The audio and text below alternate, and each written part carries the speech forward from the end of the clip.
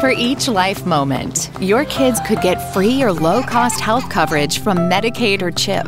Kids up to age 19 are covered for checkups, vaccines, dentist visits, hospital care, and more. Your kids may be eligible now, even if you've applied before.